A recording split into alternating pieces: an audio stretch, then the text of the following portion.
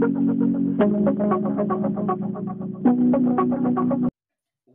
back to Chemistry Made Easy with Bright Edu. In today's video lesson, I'll be discussing on how to name bicyclic compounds. Now, for a compound to be bicyclic, that compound must possess two rings. Now, you can see we have different structures drawn on the board and in today's video lesson, we'll be learning on how to name these structures. Now, the first step taken in naming a bicyclic compound is to locate the bridgehead carbon. Now, what is a bridgehead carbon? This is simply a carbon that joins the two rings together. Now, let's quickly start with the first example. Now, let's locate the bridgehead carbon. Which carbons join this ring together? This part of this compound and also this part. Basically, this is the bridgehead carbon. This is the bridgehead carbon. Now, moving from one bridgehead carbon to another, how many carbons do we have? We have just two carbons. Moving from one bridgehead carbon to the other bridgehead carbon from the left, we have two carbons. Now, moving from this other bridgehead carbon to this bridgehead carbon from the right, we have how many carbons? One, two, and three. Now, that is that. Now, we have two carbons, we have three carbons. Now, there is a carbon that joins these two bridgehead carbon together. And where is that carbon located? This is the carbon. So here is one. So, in naming a bicyclo compound or a bicyclic compound, we simply start with this. Bicyclo, why? Because it's relating two rings together. So, bicyclo, you open a bracket and you start with the number 3, 2, and 1 is going in a descending order. So, we have 3 dot 2 dot 1. Now, how many carbons are present in this molecule? You simply count 3, 2, 1. 3 plus 2, that is 5, plus 1, 6. With the addition of the two bridgehead carbon, making it 8. So what will be the name or the parent name of this compound? It is called octane. So basically, the name of this compound is called bicyclo.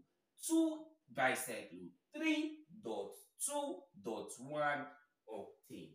Now, this is how to name bicyclic compounds. Now, let's quickly move over to the second example. Now, where are the two bridgehead carbon located? These are the two bridgehead carbon. Now, moving from the left, from one bridgehead carbon to the other, we have how many carbons? We have just two carbons. And moving from this bridgehead carbon to the other bridgehead carbon from the right, we have how many carbons? We have two carbons still. Now, the two bridges carbon contains how many carbons still? Two carbons. So we have two, two carbons and also two carbons here. So what will be the name of this compound? Basically, will be bicyclo. Open a bracket. Now you can see the numbers are all even equal. So you just write 2 dot 2 dot 2. Close the bracket. And how many carbons are found in this molecule? Basically, 2 plus 2, that is 4, plus 2, that is 6.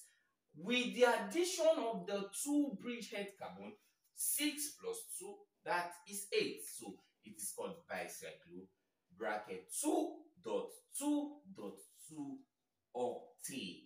This is the name of this bicyclic compound. Now, let's quickly move over to this example. Now, this we have the two bridgehead carbon located here. This is the carbon that joins these two cyclic compounds together.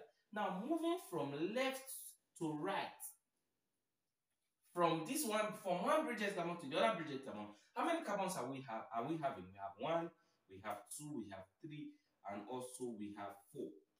So we have four carbons here.